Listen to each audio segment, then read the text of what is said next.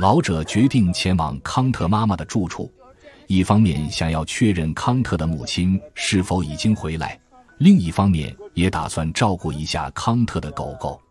同时，老者还为阿祖法借一台光疗机，以帮助解决他所面临的问题。欢迎朋友们来到康特和阿祖法的日常生活记录。老者决定前往康特母亲的住处。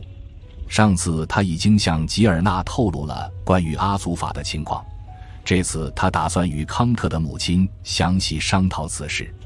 老者计划在适当的时机安排他们去看望阿斯曼。老者还需要买一些东西，买完东西后，然后继续他的行程。在驾驶的过程中，老者的思绪不断在康特、阿祖法和即将见面的康特母亲之间游走。他希望通过这次拜访，能够为这个复杂的家庭关系找到一个平衡点，同时也为阿斯曼的未来铺平道路。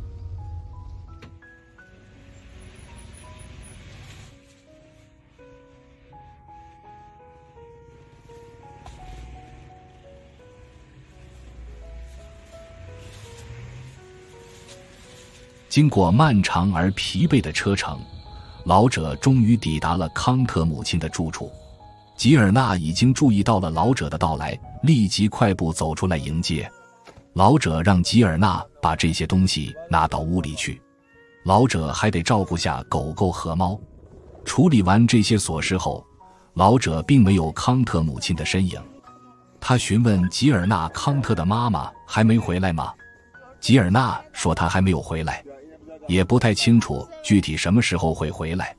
就在这时，老者的手机突然响起，他掏出手机一看，发现是阿祖法打来的。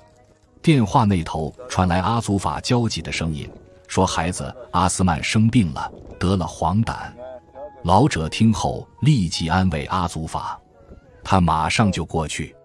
黄疸对新生儿来说并不罕见，他会想办法的。”这时，吉尔纳似乎听出了电话那头是阿祖法的声音，他急切让老者把手机给他，他想跟阿祖法说几句话。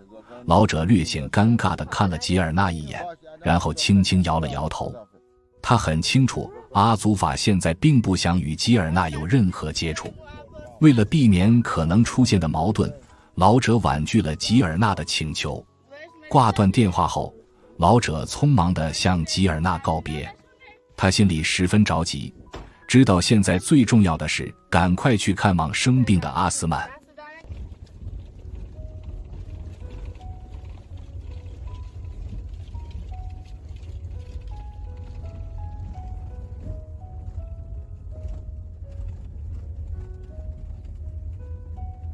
老者决定先去医院租借一台光疗机，主要用于治疗阿斯曼的黄疸。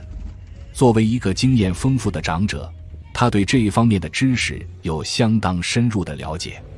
毕竟他曾经也经历过类似的情况，深知新生儿黄疸的常见性和治疗方法。老者心里盘算着，光疗是一种安全有效的治疗方式，能够帮助婴儿体内的胆红素分解，从而缓解黄疸症状。怀着急切的心情。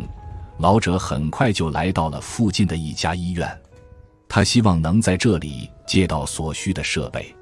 然而，当他询问负责的医生时，却得到了令人失望的回答。医生告诉他，院内的光疗机已经全部借出，暂时没有可用的设备。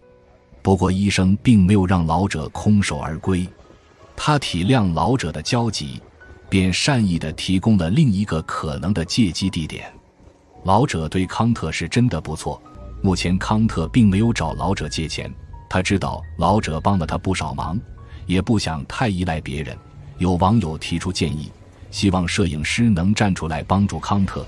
毕竟康特如今的经济状况十分窘迫，手头几乎没有什么积蓄，连日常的生活开销都捉襟见肘。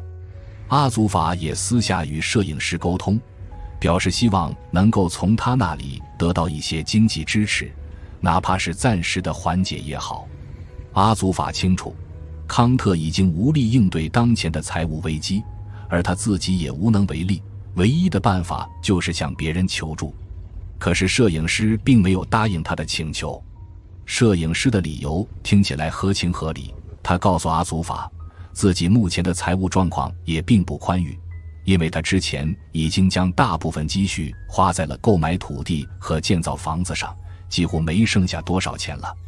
但事实上，摄影师的一部分说辞，真正的原因是他对康特的表现感到深深的失望。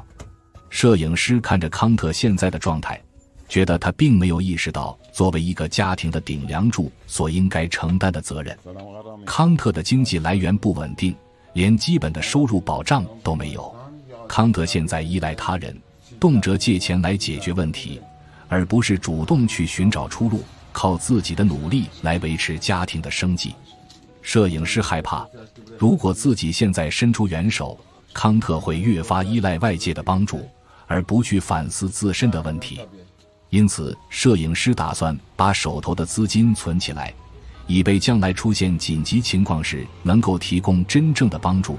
尤其是阿祖法母女，必须有一个可以依靠的经济基础，以免他们日后受苦。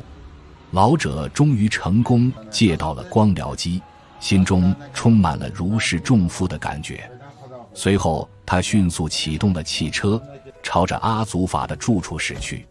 感谢观看。